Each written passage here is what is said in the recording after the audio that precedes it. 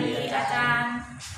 ชิสนุพุทธวงศ์และโมเพื่อนสาขาของน้องอยู่กลุ่มสองสาขาภูมิศึกษาปีหนึ่งมีกันอยู่หาคนคนที่หนึ่งแม่นักกิจวัตรกุสุวรรณคนที่สองนะครับมีสิจันทร์น้ำจิตวิชาพาวิดาสงสารพุทธิชีเท่านี้วรวงศรีเมื่อนี้สิมานำเสนอการสักนักไฟฟ้าจากมะนาว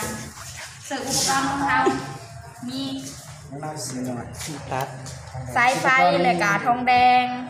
มีสังกะสี มีดอกไฟ เอาเสิ่งเอามาต่อกันเลยเนาะ ต่อเอาเสียบสังกะสีใส่บักนาวใส่ทองแดงคนละส่วน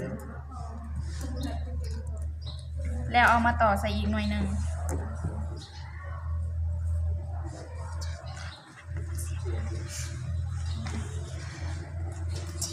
ต่อเป็นวงจรแบบสี่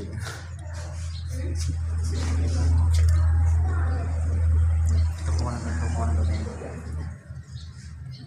แล้วจับสกินแล้วเอามาต่อใส่กันคงอยู่แล้วมันก็จะมีไฟหุ่มขึ้นมา เป็นแบบนี้โอเคสรุปคุณมิสรุปนี่เข้ามาเลยขนาดเลย การทดลองของเราก็สิ้นสุดลงแล้วเนาะเราก็สรุปได้ว่าไฟฟ้า